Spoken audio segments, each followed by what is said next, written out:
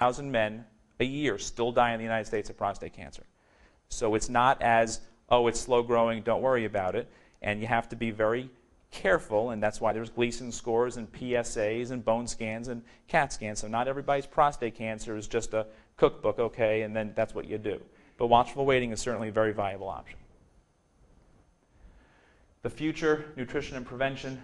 We have an excellent speaker tonight who will speak about that. Angiogenesis inhibitors, um, vaccines, all very exciting clinical trials available across the United States for advanced disease.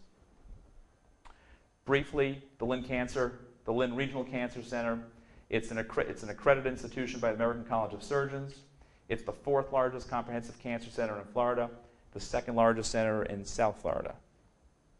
There are three locations right here at the hospital, one in West Boca Raton on 441 near Sports Authority, and Delray Beach on Military Trail. The Lynn Cancer Center currently offers both radiation therapy and medical oncology services. And there is a 36 bed all private inpatient oncology unit right here on our campus. And there is also IV outpatient chemotherapy. They have the latest technology. Dr. Williams will discuss all of these in extreme detail.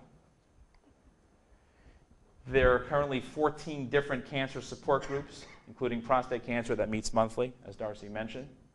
There is a cancer care coordination program where there's a dedicated team of licensed oncology nurses and social